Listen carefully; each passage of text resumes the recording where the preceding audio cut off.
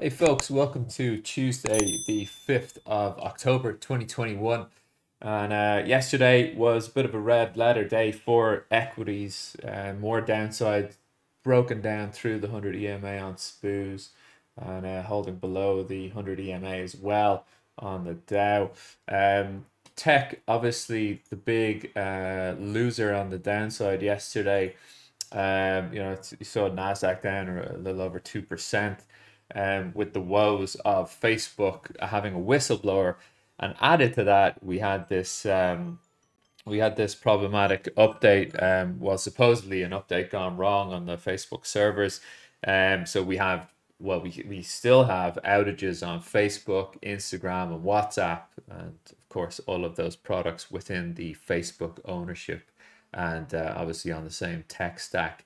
Uh, so, you know, uh, while we are having a, a, a, limited bounce on the NASDAQ uh, through this European morning, um, you know, I think the calls yesterday for downside, I think were, were, were, were, were well proven. Um, so let's look, let's have a look at these charts. I mean, I think, um, you know, there's an awful lot of talk on this energy crisis, um, you know, adding to the inflation woes, uh, then you know really having ill effect on on equities as a general classification of market. Um, you know, gold taking a bid yesterday. Yeah, I mean, you know, uh, while while gold there was a great uh, move up yesterday at around three o'clock. You can see in the top right of my screen. Um, it's it's a, it's a very tricky trade. It's a very tricky trade if you're trying to get on tight risk uh, within the day time frame you know, I think, yeah, the 1752s came in as support there at three o'clock and a, and a nice push up. Um, but really, you know, I think there were easier opportunities to get on, namely looking at the Dow here yesterday. You know, we were looking at longs from the 30, uh, 34 200s on numerous occasions uh, this last uh, Wednesday came in, nice bid back up to the 50 EMA area, um, but then largely supported uh, when we came into Thursday and Friday, just slipped off. Now, now you know, now uh, on the Sunday reopen on Monday, we had pulled back into that area. And by the time we came into the pit uh, open, well, the cash open on equities, uh, you can see here just unsustained push on the buying side uh, above the 34 200s and you know the 100 EMA was sitting at that price pretty much yesterday. You know down we go.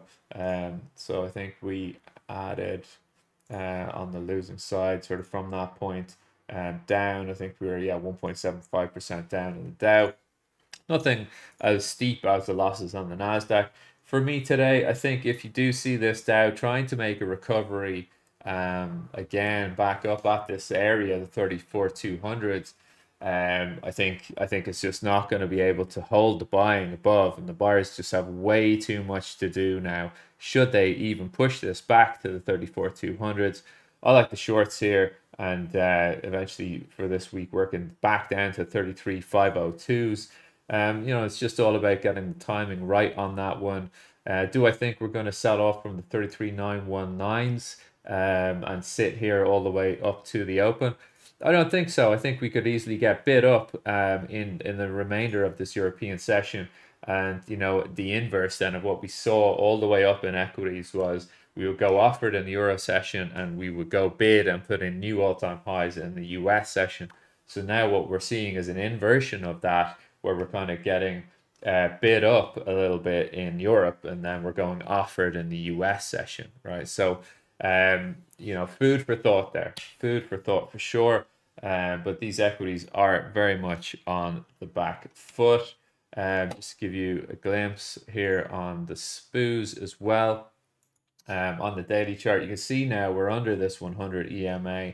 The 20 looms heavily above for a retest, which really, you know, these retests up at the 20 have been sold. You know, I mean, uh, so if we do get on up here, I think that 4321s in conjunction with the 100 EMA in this area here, uh, you can see that, you know, the buyers have it all to do. So if we get bid up into here um, during this, uh, the remainder of this European session and, and through to that sort of half 12 midday uh, sort of marker um, in London, I think, uh, you know, the, the sellers are going to be working uh, offers on on this market below the 100 EMA. You see here yesterday um, at around 8 a.m. that little bid um, and then came into the US session, went offered straight down. So now we have this whole area in grey acting no longer as support but but as resistance. Um, so just be careful uh, trading in and around um, the SPOOs. Uh, you know, I think this is generally the line in the sand. Even if the SPOOs does, I'll just pump this up onto the whole screen here. Even if you do get the SPOOs working on up um, to the 43, 59, 50s, I just see this market as being weak here. And obviously notwithstanding headline risk, um, what could we have here that would be positive? Maybe getting a deal done on the on uh, on the funding for U.S. government. Um, you know, but that would be thin gruel, really, to be honest. Um, so I think we're skewed to the downside in these equities. Now, uh, something that speaks directly against that, though, is this on the daily. Oh, sorry, on the daily on Nasdaq here. Look at this, right? As foretold we have this this big big uptrend from the low second of uh, November 2020, uh, fifth of March 2021, and that's given us this big old uptrend which has not been broken. And yesterday and today are no exception to that rule. We're bid up now, 0.4% uh, up on uh, on Europe on the on the pre market on Nasdaq. So I think with this uh, touch that we've had, I think I think the bounce uh, should come in on Nasdaq. But I mean, if we have continued worries on tech, namely from Facebook, I think that is going to be weigh on this sector. And uh, you know, I'll tell you this: basically, if we come down and press here and close like even a 30 minute candle or a, well probably let's say an hour candle below trend here um and below the 14414s uh, and a half then I think we're going to break this trend. And, uh, you know, that might be quite sensationalist to say, but that's what I see. That's just how I see it. Um, so, you know, uh, do I think we have the right conditions for that? Um, I don't think so. I don't think so. I think, I think, you know, while we've had uh, this sort of falling out of bed for tech and a couple of uh, constituents of the Nasdaq, the big boys like Amazon and Facebook, down yesterday. I think there's just good value there, and you can see this trend really does speak to that, you know. So, um, so yeah, I mean, I, am not betting against equities at this time. I'm not betting against Nasdaq at this time. I think it'll be interesting to see what happens on a retest on the 100 EMA, and you know, if we start to reject on the 14703s. Uh, that could be quite interesting um, because then we could start to like retest on the trend down here we had a similar activity like that on a gold trend earlier this year of similar magnitude. Um, so I think yeah, it's it's a bounce day for the Nasdaq. I think uh, really we don't have anything from a fundamentals perspective to really uh, throw this market uh, fully out of bed. Uh, so yeah, that's the Nasdaq. Lovely bounce here that we looked at yesterday uh, for the longs. Uh, oil. I mean, look, oil fantastic fantastic day yesterday for oil. Um, OPEC, uh, as we all know, OPEC committing to not raise uh, production uh, despite calls from the White House, despite calls from Joe himself. Uh, you know, we were up uh, quite a significant amount yesterday. Just let me get the exact figure on the day. I think we were up about 4%. Just let me make sure that that's right. Uh, yes, it is right. 4.06% up on the day yesterday. And no signs of stopping. We don't really have any resistance to speak of in this area. I mean, like going all the way back here to, well, uh, really, where are we going all the way back to? Uh, going back to, let's see, 7684s. Yeah, all the way um, back to uh, 2018, November 2018, we fell down from this from the 7980 handle, but there really is no significant uh, resistance in this area at all. We just kind of, uh, let's see, get a couple of days here. Um, bah, bah, bah, we're in the 90s there, uh, 70s. Here we go. Just zoom on out and I'll show you the activity uh, back at that point.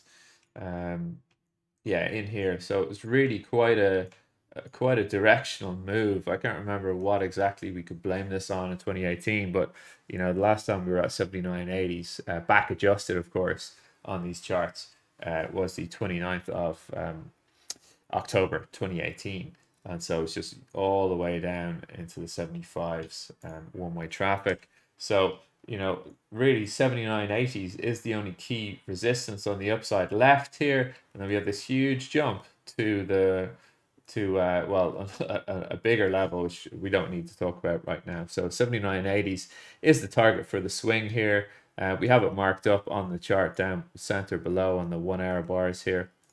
And uh, you can see the sort of pattern of uh, wedging going on this morning. 77 58s uh, generally supportive.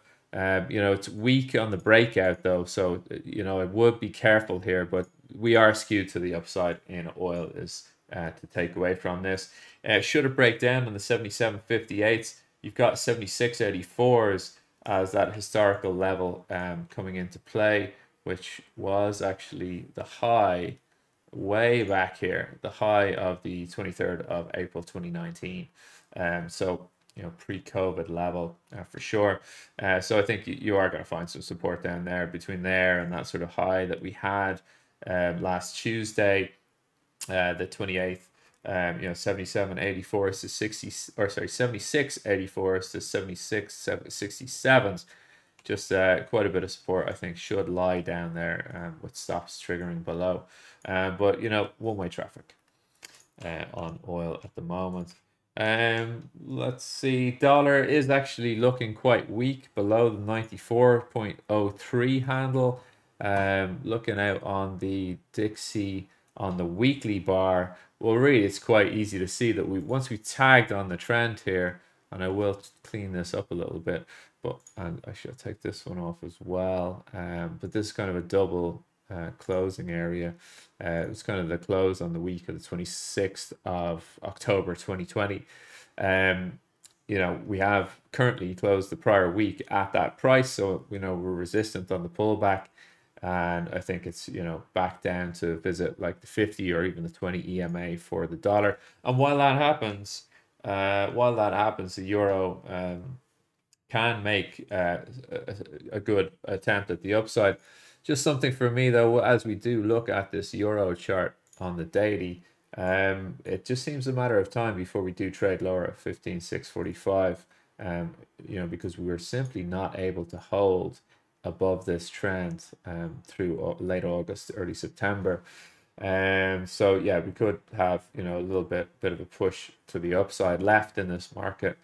Uh, really, I, am only interested in trading this market um, uh, on on the longs, fifteen six forty fives, um, and then I think it's going to be very difficult to try and get on these pushes uh, for now. So I mean, yeah, maybe obvious to to get on longs for, uh, with the dollar looking weak, but just knowing how these markets go, eh, you know, it can really flip you um, very quickly, um, and you'd be you know easily on the wrong side of the trade in a marginal area, you know. So, uh, cable, yeah, I don't really have any views on cable at the moment. I think it's kind of trying to resolve itself in this area. Longs 35.74 should be valid given the resistance it put up uh, last Friday. Um, you know, that's a pretty safe area to get some tight risk away.